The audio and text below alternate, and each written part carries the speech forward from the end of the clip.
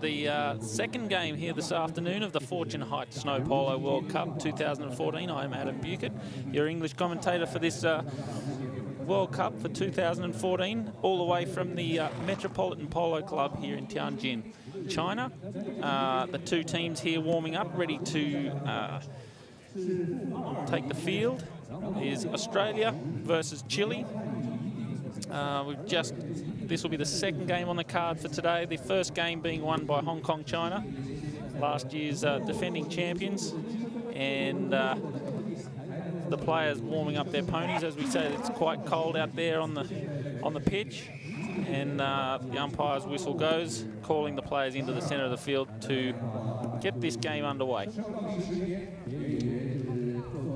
We'll have a uh, presentation of the players as the uh, dignitary, Mr. Uh, Sun Li Sheng, will uh, throw the ball in to get the game underway, the second game here today.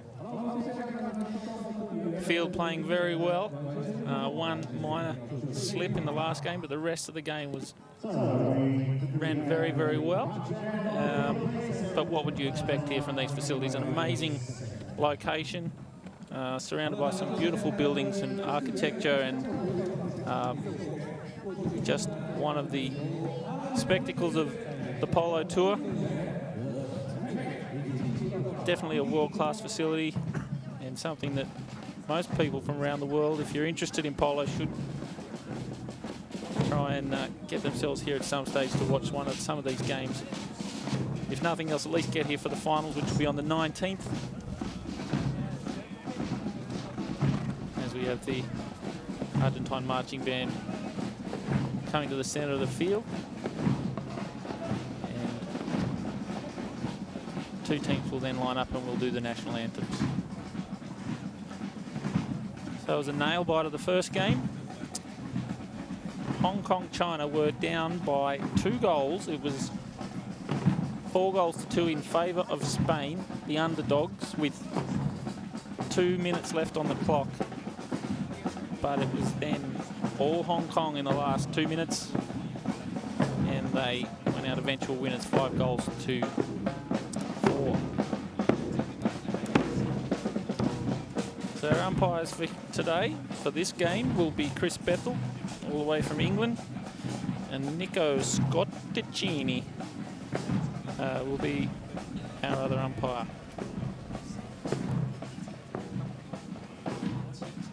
Australian team has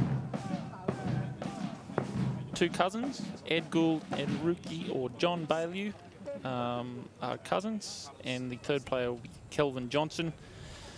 Kelvin playing here last year for the Australian team. They didn't get through to the uh, qualifiers, to the semis, but they um, have changed that team around this year, and I think you'll find a much stronger outfit here from the Australians. But the Chileans, uh, a force to be reckoned with, uh, especially in this these small arena polo. Stand by for the Australian national anthem.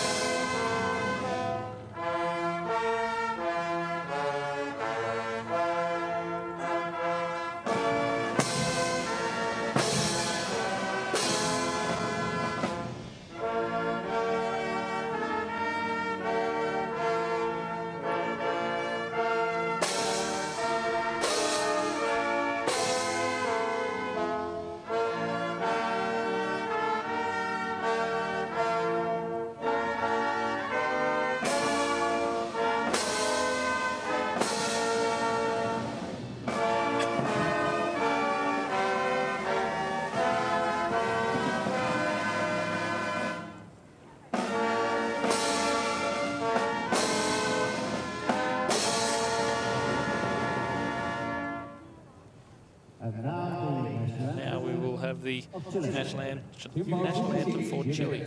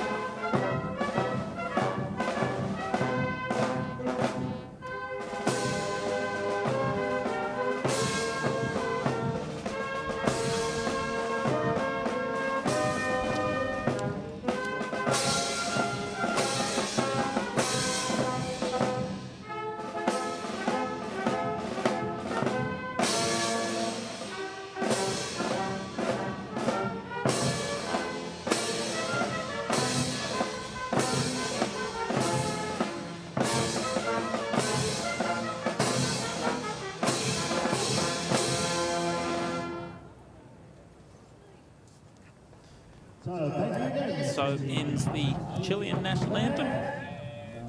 And we'll now have the, as the Argentinian marching band leaves the field, we'll have the introduction of the players.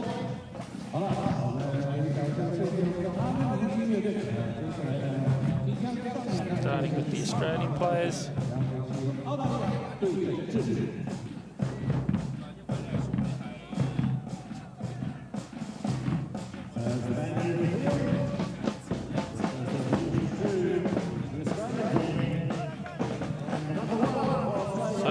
Australia, number one, Kelvin Johnson. One of the best arena players coming out of Australia in the last few years. Ed Gould, the four goaler from Queensland at number two. And at number three, it will be John Ruki Baillieu. Australia's highest rated player on seven goals at the moment.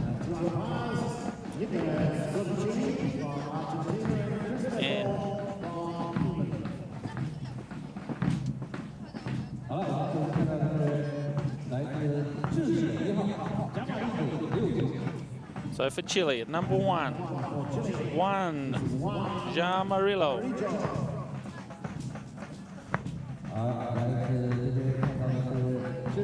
Number two for Chile will be Ignacio Vial.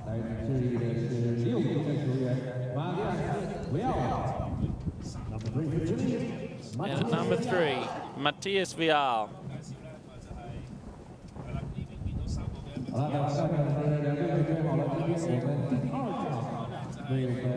So the players now warming up their ponies to get this second qualifying game underway.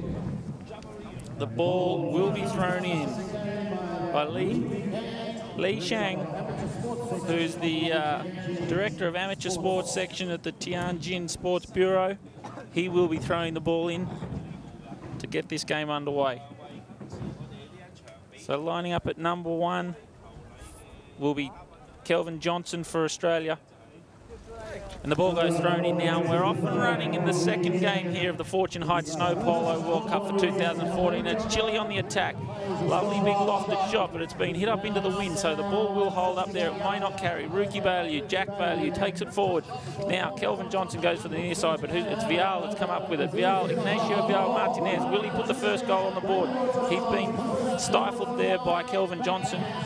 And the flag has gone up, so it's goal time for Chile. A lovely little back shot there by the Chilean. Drawing first blood here in the second qualifier now. John Baillieu bringing the ball in on the black pony now for Australia, looking for some runners. Ed Gould just trying to keep the Chilean away from Baillieu unsuccessful. The Chilean comes up with it, but now it's Baillieu now in the clear. Doesn't quite get enough wood onto it. Now it's been hit up there by VR, but it's gone out over the back line. So it'll be both teams just struggling a little bit, just getting a little bit of their footing in this first minute of the chukker. So it'll be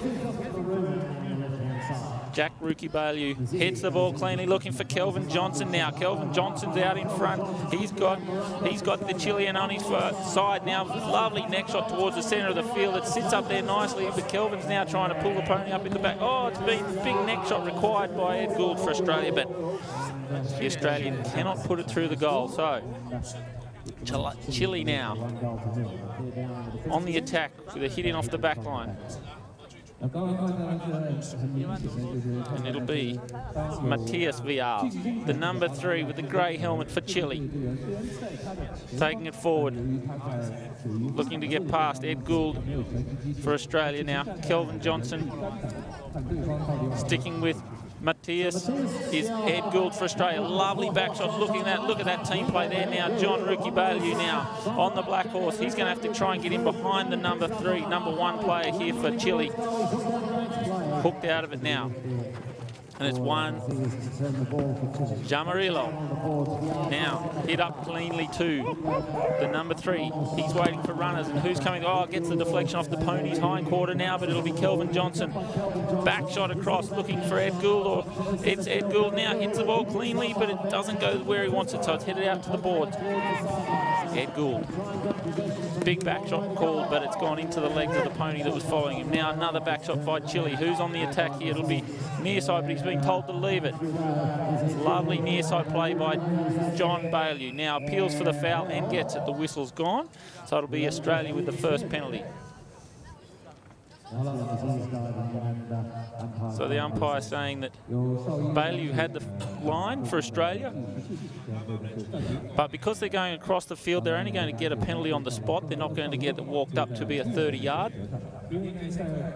If they were attacking the goal mouth, they would have walked that ball up and put it on the 30 yard line.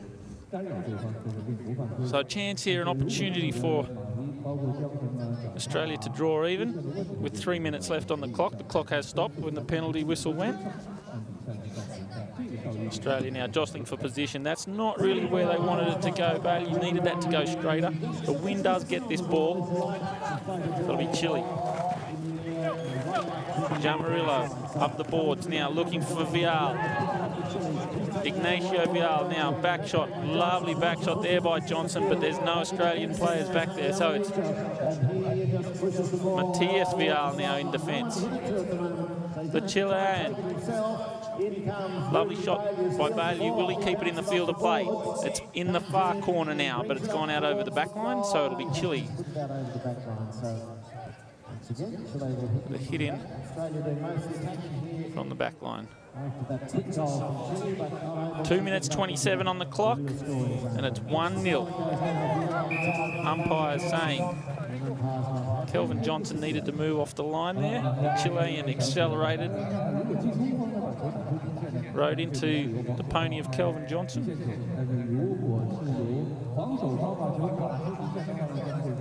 As we said, there's no, none of these players here have uh, brought their own ponies. They have been, all these ponies have been supplied by the Metropolitan Polo Club. Manager here, Derek Reed, doing an amazing job putting these ponies together for such a uh, world-class event.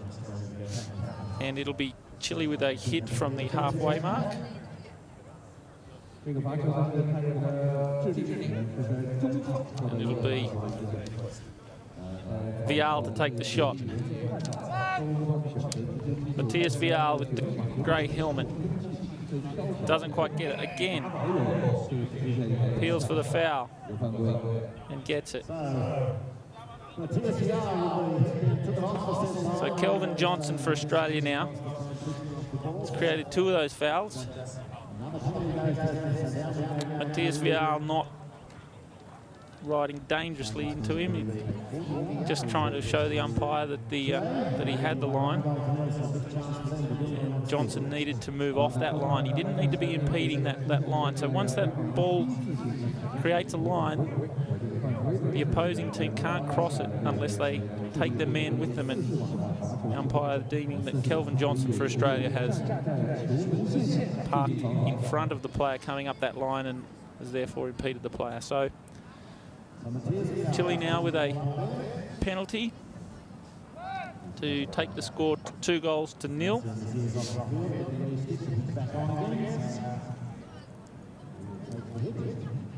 So Matias Vial, the three for Chile, will take the penalty.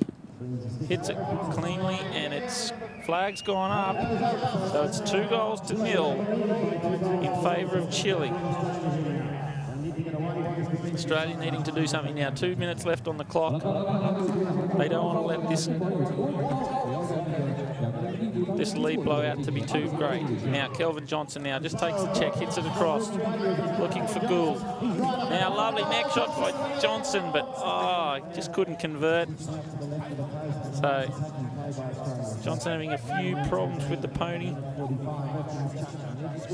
Would have been great to uh, go into the final minute of this chukka with the goal, but wasn't to be, so it's now. Matias Vial, the number three for Chile, bringing it in from the back line now. Vial unloads the big ball, comes off the hind quarter of Ed Gould's horse. Ed Gould looking around for the ball, doesn't quite get it, but it's going to be Ignacio Vial now taking it around. Near side required by Ed Gould, but he couldn't get to the ball cleanly without impeding the line for Chile. So Chile will get another penalty. So Australia all over the line here, not riding these lines cleanly, and they're paying the price for it at the moment with three consecutive penalties going to the Chilean team. And it'll be Matias Vial initially appealing for a 30-yard uh, shot, but the umpire saying, no, no, come back here to halfway. It'll be a penalty from halfway because they were inside the half and so great polo here by the Chileans to uh, it's very simple. Once that line goes in a certain direction, that creates the new line. And you cannot cross that line unless you take your man with you. So, the Chileans appealing for a foul here.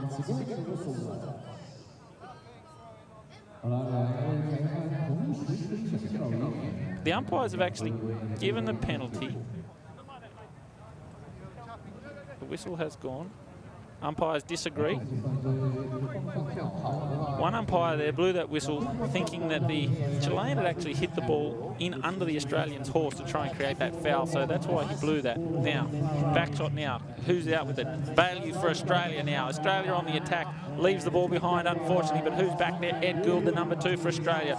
Nothing but him and daylight between him and the ball. And now he clears it out to the boards. I think he was looking for the deflection off the board there, but he got too much onto it. So with 45 seconds on the clock, they're two goals down, and it'll be a throw-in by the umpire, and it's out to the centre. Ruki Baillieu, John Baillieu, riding hard here to try and save this game. Big neck shot there by one pony down. Pony down by Ignacio Vial, the number two for Chile. Pony leaving the field in good condition. He's just had a slip. And the whistle has gone with 30 seconds left on the clock.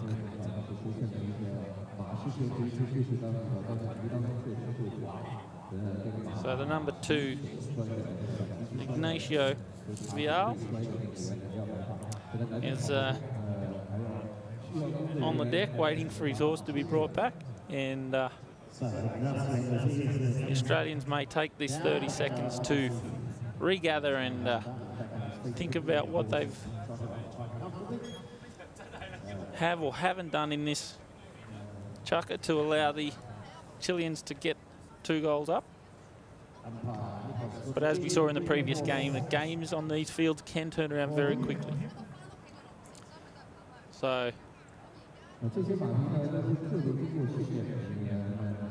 It'll be a throw-in because the umpires have blown the whistle for safety reasons. If the player comes down within uh, the dangerous area of the game of the play, they uh, the umpires will blow the whistle and have a throw-in once the once they check that the pony's okay and the, the, the gear and everything's okay. So, Ignacio Vial Mazeres is back on his pony. Uh, pony on this occasion is uh, Smoking Joe. So the umpires will throw the ball in here to the boards. And it comes out. Who's got it? It's the number three for Chile, or is it John Baillieu? The bell has gone. Big clearing shot there across the field. Kelvin Johnson's not going to get there in time for Australia. It'll be Vial again, the number two for Chile. Will he make it three goals to nil in this final chukka? Kelvin Johnson waiting for it to go across the field. No, it doesn't go through. John Baillieu now. He's going to have to put his skates on to get to the other end here. John John Baillieu now. The hook who's next? Can't get to it. It's going to be Vial. The Hooter has gone. So, at the end of the first chukka, it's been all Chile. And we go to the break with Chile up two goals to nil at the end of the first chukker, the second game here